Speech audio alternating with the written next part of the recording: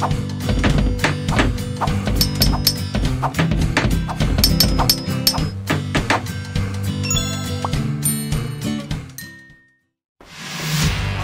this is the amazing new kitchen. You guys will see that this is the biggest difference between where we started and where we're gonna finish. So what's really cool about these kitchens is again, little tiny little upgrades. Beautiful kitchen, solid wood. This is nice, really nice finish. Again, the difference between this and a custom cabinet, this is about a third the price. Now, don't buy junk. Don't buy junk. They make this stuff where it's wafer board. Don't buy that stuff. It's garbage. As soon as it gets wet, it will deteriorate. Don't go to the big box stores for this stuff. Find a local cabinet company. These guys are absolutely awesome. They'll actually design your kitchen for you based on your measurements. They'll come out, they'll template everything, and then they'll be able to give you a price and say, okay, here's what it is in a high-end cabinet, a mid-range cabinet, and a low-end cabinet. Don't buy big box when it comes to these cabinets. It's not worth it, and especially on countertops. But little cool little features like this, not only is this a plywood box, then with all pre-routed and all pre-done for you to be able to put your shelves in at any height that you want, we also have this really cool feature. No slam doors. It's awesome when you're trying to sleep in in the morning and your kids want to get something to eat, that I can tell you. So these big handles, again, going to the big box stores, these are things that can cost you 8, 9, 10, 11 bucks. Okay guys, here's a little secret. Go on Amazon, look for some international shippers. It might take 30 days to get to you, but you can buy these things a lot of time for a dollar two a handle. That's where you pick up some savings to then do some of the other cool stuff in the house like we talked about with the trim. Then we put in, we put some really nice high-end countertops in. These, this is actually Brazilian granite. Really cool, awesome stuff. The big thing about this is, is it's not polished. When you go into most of these houses, if they say they're a high-end house, they will put granite into these houses. When they put the granite into these houses, they'll use like a polished granite and it will look kind of nice, but I can promise you this, it's a budget stone. Again, find yourself a stone dealer. Find yourself a place that does countertops. Don't be afraid to shop.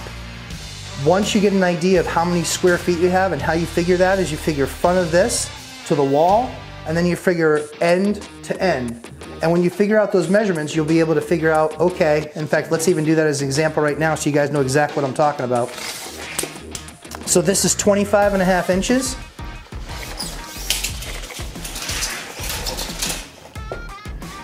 And it's 12 feet long. So it's as simple as putting that into your calculator, 25 and a half inches times 12 feet long, 144 inches, that will give you your square footage. When you get that square footage, that's when you can start calling some of these granite places and saying, hey, I've got this much square footage that I need. What are my options? They'll say, okay, you've got 40 square feet overall in the kitchen. And obviously that's not the number of the 20 of the 12 by uh, 12 by 2 feet because that's only 24. But we've got another piece over here as well. So again, make that call to the granite company. They'll say, yeah, 40 square feet, we'll need to come up and template it, but here's our choices of stone. All of these companies have websites, all the good ones anyway, have websites of what product you have available. Don't go cheap budget. Don't do it because it doesn't separate you from the other stuff that's out there on the market. Again, our stuff, we go with a different finish, non-polished. So we'll actually go with a non-polished and what we call leathered feel or honed granite. This is a completely different stone than anybody else is gonna find in other homes we standardize on cool, different type of stuff because it's what helps separate, separate us from the rest of the bunch.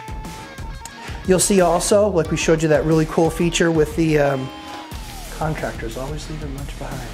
Unbelievable. We have a nice no slam drawer. These are the kind of features that a buyer is going to want to see in a house because that recognize that, hey, I wasn't just trying to get out of this project and spend as little as possible. I was making an investment and making sure that I turn over a great property that's done right with all the right nice things that anybody would want to put in their house. People can walk into this house, buy this house, and not need to change anything for the next 20 years. That's always what our goal is. We'll go over here. This is a different sink as you guys can see, which what's called, this is called an apron of a sink. This is a farmer's sink. Major cool, factor. People absolutely love the look of this because you're not gonna find this stuff in most homes. Here's the interesting thing.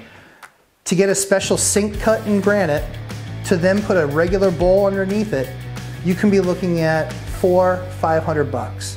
This sink, just gotta do your budget shopping, my friends. You can get this sink for between three and 350 bucks. And then this cutout doesn't cost anything extra because they can actually slice into it. You're already paying for the square footage, so they don't actually do a whole big deduction for that cut in a lot of places. This sink looks better and usually saves you money. So lastly, as you look at the different outlets, we make sure that when we put any of these kitchens in that we take the extra time to make sure that we have good outlet space and a lot of stuff will run on its own separate circuit. We'll talk a lot about electrical later. But if you guys take a look, a lot of these, we'll actually put these really cool things in. USB ports, right? Are there ever enough of these in a house ever? Nope, there never are. So we always put these things in the kitchen. That way Mom's sitting there, she's doing the dishes, kids are helping loading in the dishwasher. Here you go, plug right into there, everything's charging. Can't underestimate how important these things are. Now the difference of cost is one of those outlets is about a buck and a half, one of these is about $5. Put about six of these in the house. You want one in every single bedroom. You want one in the living room, and you'll want one here in the kitchen, maybe two here in the kitchen.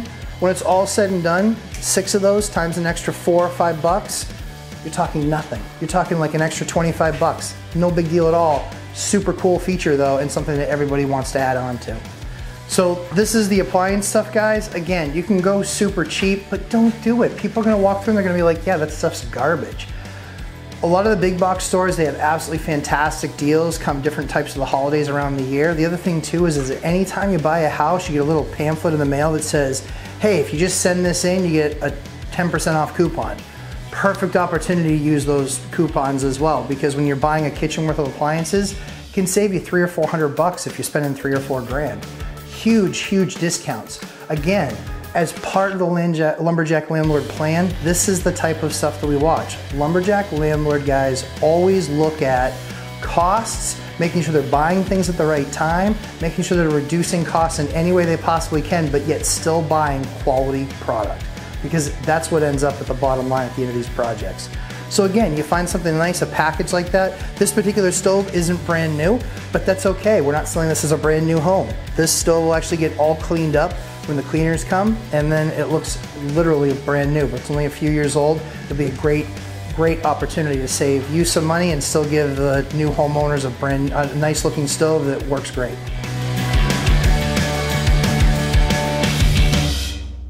Going on everybody? It's Matt, aka the Lumberjack Landlord. Super awesome to be with you guys here today. Thanks so much for watching that last video. Comments, post it below. I want to get back to you guys. Thanks so much for taking the time and investing in yourselves. Talk to you soon. Take care.